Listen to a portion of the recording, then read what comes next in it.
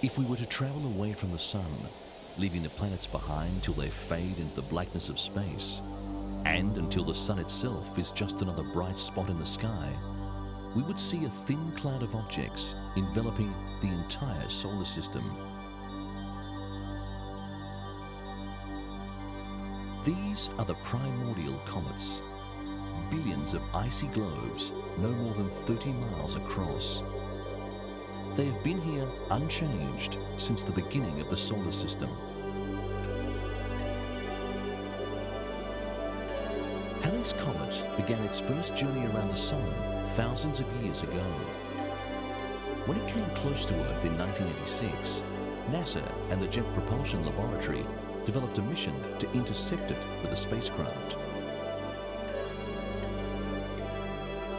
It was an opportunity too good to be missed to investigate the best known comet of all at close range. The craft used hardware and technology from the successful Voyager mission to Jupiter and Saturn, and from the Galileo mission to orbit Jupiter.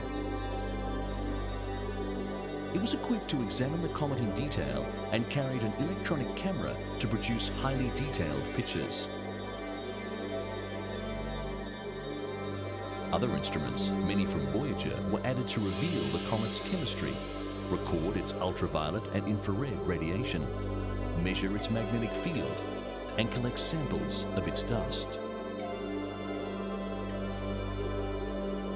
This unique mission began in the summer of 1985, and NASA's space shuttle was used to launch the probe on its eight-month journey to Halley.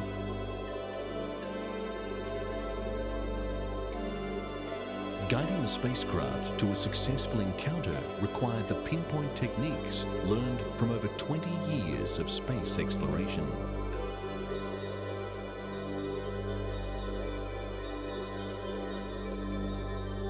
Intercept would occur after Halley passed the Sun.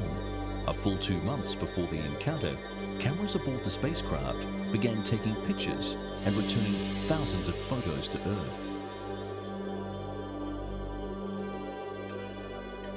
Probing within 500 miles of the nucleus, the robot was to give us our first look at the heart of Halley's Great Comet and a glimpse back to the start of the solar system.